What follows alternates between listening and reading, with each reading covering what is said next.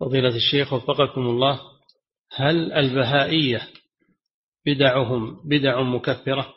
بلا شك البهائية هم اللي يزعمون أن الله حال في, في العباد حال في العبد.